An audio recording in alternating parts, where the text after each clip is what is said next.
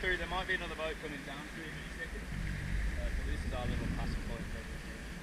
So once those boats come past, all we know